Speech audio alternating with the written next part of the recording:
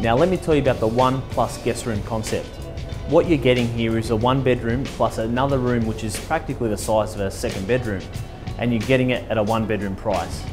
Why spend $1 million for a two bedroom apartment when you can spend six or $700,000 and get a one bedroom plus guest room? These guest rooms are either two metres by two metres or scale up to even three metres by three metres, which are practically the size of a full room. Another amazing money-making feature of the One Plus guest room. Your savvy investor will purchase the property in one bedroom price range, but often you'll find a tenant that needs two complete rooms. And what you'll find is the tenant will pay a premium price for that privilege. Everyone's asking what is a guest room?